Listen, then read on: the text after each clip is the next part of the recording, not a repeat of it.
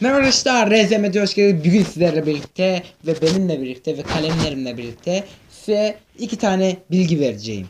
Evet, şu gördüğünüz kalem mavi yazıyor.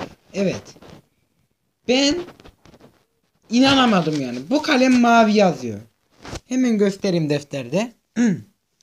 Gördüğünüz gibi şöyle şöyle bu kalem mavi yazıyor. Gösteriyorum.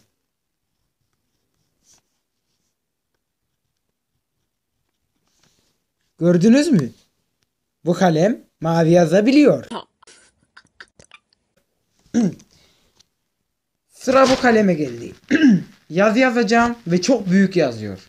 Evet. Ya istemiyorum abi. Çok küçük yazmasını istiyorum. Fakat çok büyük yazıyor bu kalem. Bakalım.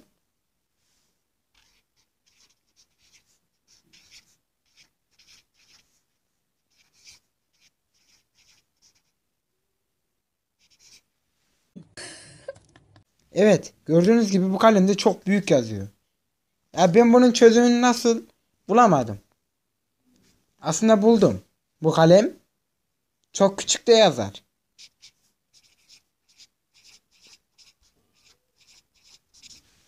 Bu şakayı gördükten sonra arkadaşım bana dedi ki Sana oyuncaklarımı göstermek için sabırsızlanıyorum. Evet. Ben de ona katılıyorum. Evet. Ve bu kalem Uğur da yazar.